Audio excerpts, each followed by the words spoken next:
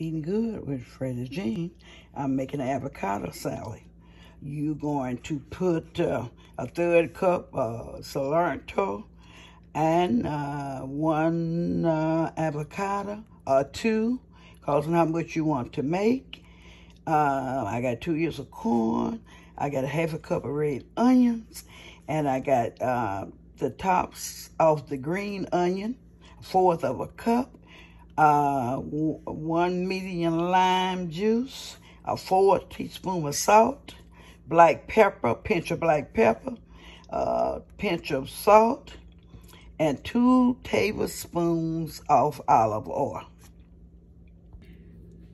I'm cutting the avocado up in the salad that I made. Yeah, it's going to be some good eating. I wish you was here to get a taste of it. Look at that. Corn, avocado, and corn salad. Look at this. All right.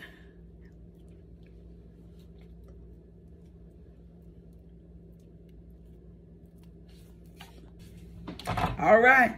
Here the results of the avocado salad, uh, corn salad. All the ingredients, and I'm incorporating that together right now. There's some good eating. I wish you was here to get a taste of it. Look at that.